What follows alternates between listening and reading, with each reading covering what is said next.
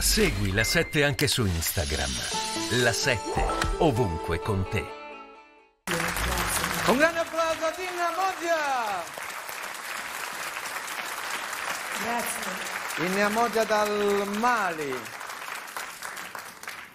Allora, Inna Moggia eh, ha cantato Lean on Me, questo pezzo era Lean on Me di una cover di Bill Withers e prima hai cantato un altro pezzo che si intitolava Water. Perché queste due canzoni? So, Water is a song that I wrote because è I una come from canzone che a ho scritto region perché of the vengo da una world regione del in mondo the southern part of the e nello Sahara specifico Desert, nella parte sud del deserto del Sahara dove abbiamo molte difficoltà ad avere accesso all'acqua, acqua pulita, acqua potabile. E dappertutto nel mondo ogni essere umano ha bisogno dell'acqua e oggi, nel 2023, mi dispiace, scusate, mi Don't sono worry, davvero molto emozionata.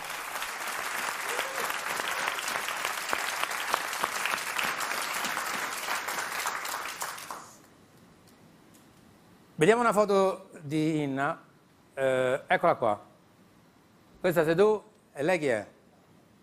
La mia figlia. Ecco, lei è sua figlia. Allora, abbiamo parlato fin prima di cantanti, artisti, influencer, di attivisti.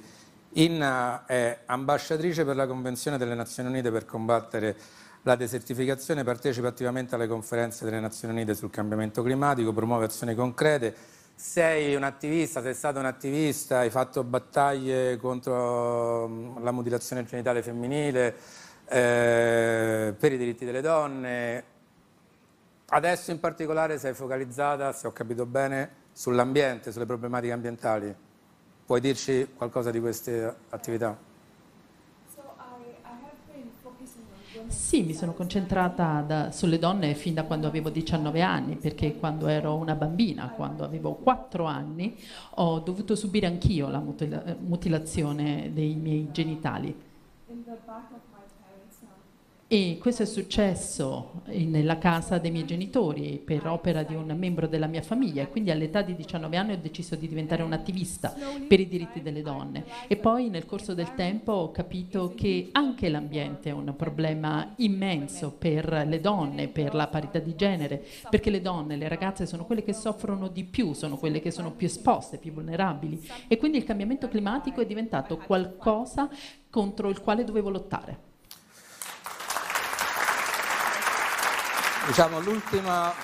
sta- stai lavorando a un prossimo album perché sei anche e soprattutto diciamo, una cantante e una musicista e hai prodotto un documentario The Great Green Wall e stai al lavoro su una.